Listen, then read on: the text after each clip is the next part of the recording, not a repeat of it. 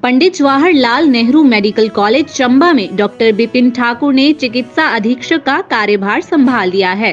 Doctor Bipin ने कहा कि मेडिकल कॉलेज में मरीजों को पेश आ रही समस्याओं का जल्द से निवारण किया जाएगा। मेडिकल कॉलेज में कमियों को दूर करने की कवायद आरंभ कर दी है।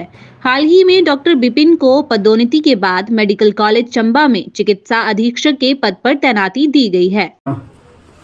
सेम डे ही हॉस्पिटल का एक राउंड राइट फ्रॉम जो आपका मेन एंट्रेंस गेट है जो जहाँ पे गुमटी है जहाँ पे सिक्योरिटी वाले बैठते हैं वहाँ से किया है।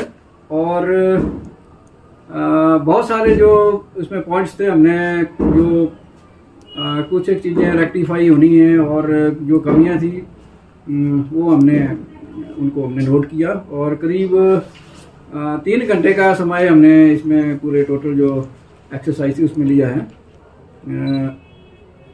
जो कुछ चीज़ें जो हैं जो हमारे अभी रिसेंटली इमीडिएटली रेक्टिफाई नहीं हो सकती हैं जैसे कि कुछ एक डी के जो जो वर्षों से है बिल्डिंग जो हमारी ये बहुत पुरानी है।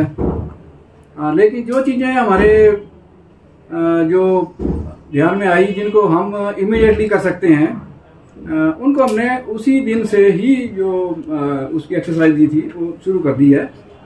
और जैसा कि कई कई सामान हमें इधर रखा होता है, कई, उसको शिफ्ट करने की जो प्रक्रिया हमने चालू कर दी है, जो अनवांटेड थिंग्स हैं। और अब उसकी एक हमने एक प्रायोरिटाइज लिस्ट बनाना शुरू कर दी है।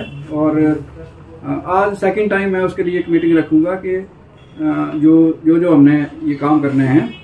उनको कैसे किया जाए और कब शुरू करें?